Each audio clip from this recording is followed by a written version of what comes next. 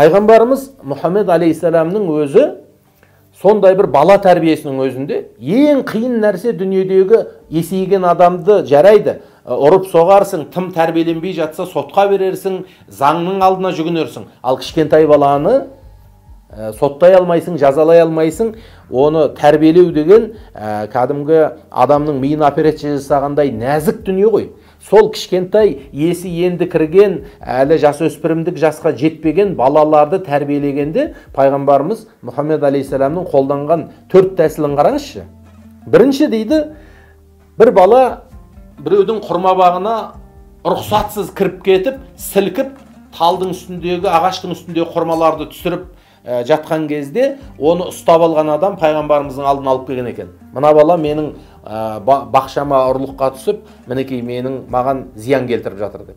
Сонда ең бірінші міне пайғамбарымыз алейхисаламның балаға көрсеткен қарым қатынасы қалай болған? Ең бірінші ей сен бала немесе ей сен кімнің баласысың деп басталмаған бірінші кезекте келе ғой айналайын деп жаңағы баланың жасаған қылмысы өте үлкен емес немесе ол бала бір бүкіл бір елді өртеп жіберіп жатқан жоқ бас жарылып көз шыққан жоқ. Жаңағы баланы тарпа бас салмай бірінші мейірімменен келе ғой бала деп жаңағы айналайын деп бала ханым деп бота ханым деп баланы шақырып бауырына басады.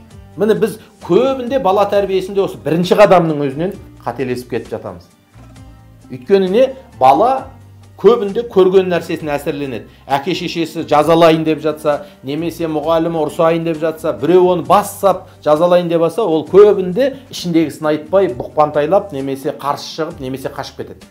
Сонда пайғамбарымыз айтқан бірінші кезекте баланы шошытпай өзіне бауыр басты. Бұл алғашқы тәсіл еді екінші балаға ойлануына шығып кетуге есік қалдырып мүмкіншілік берді. Балаға айтты.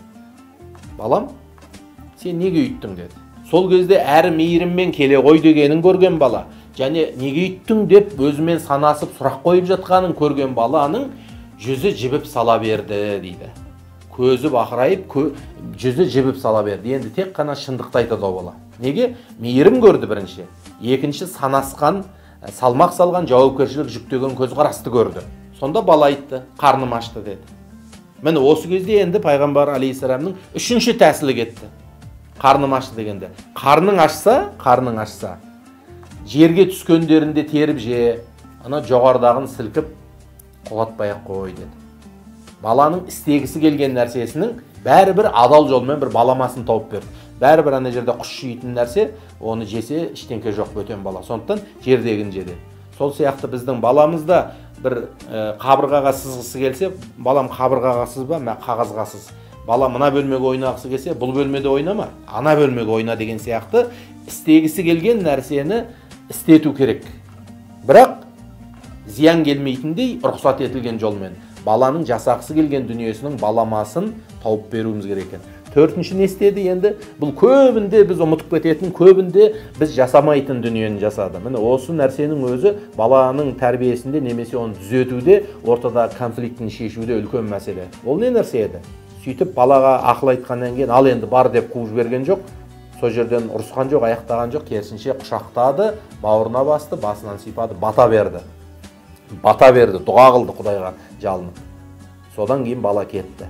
Сонда бір баланың өзі бір дүниені бүлдіріп ортада бір конфликті пайда болып қалған кезде бірінші балаға мейірім көрсету. Одан кейін оменен ақылдасқан болып санасып сұрақ қою. Одан кейін барып ол бала істегісі келген нәрсенің адал бір балама жолын тауып беру төртінші одан кейін тағы да мейірім көрсетіп балаға бата жасап басынан сипап құдайдан дұға қылу сол баланың енді дұрыс бала болып кетуі үшін. Бұл жаңағы айтқандай адамның жүрегін ашу екінші қадам дедік қой ұрыс керістің алдын алатын. Сол ұрыс керістің өзінде пайғамбарымыз бала тәрбиесінде осы төрт нәрсесі арқылы кез келген адамның жүрегі не білдірсе де қандай нәрсе саған айтып қойса да оны түзетем десең оныменен ортаңды түзеймін десең оған бір жылы қарым қатынас жасауың керек. Оның жүрегінде саған деген құрметі ә, махаббаты оянғанда ғана адам сенен бір үміт етіп сол кезде ғана қабылдайды.